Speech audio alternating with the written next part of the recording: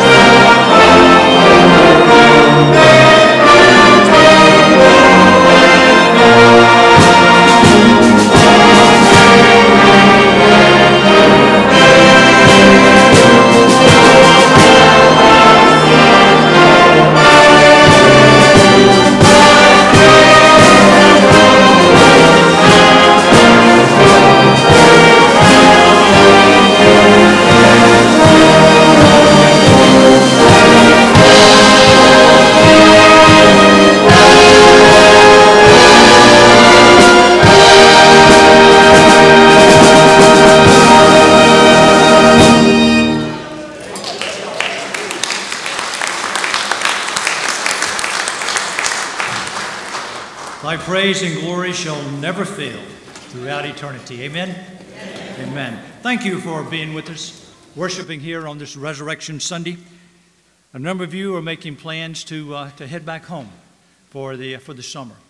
And so to you, we would say, safe journey, travel safely. Return to us quickly because you are family and we want you back. All right?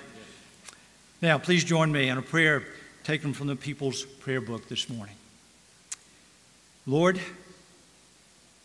the resurrection of your Son has given us new life and renewed hope. Help us to live as a new people in pursuit of the Christian ideal. Grant us wisdom to know what we must do, the will to want to do it, and the courage to undertake it, the perseverance to continue to do it, and the strength to complete it. In Christ's name we pray. Amen.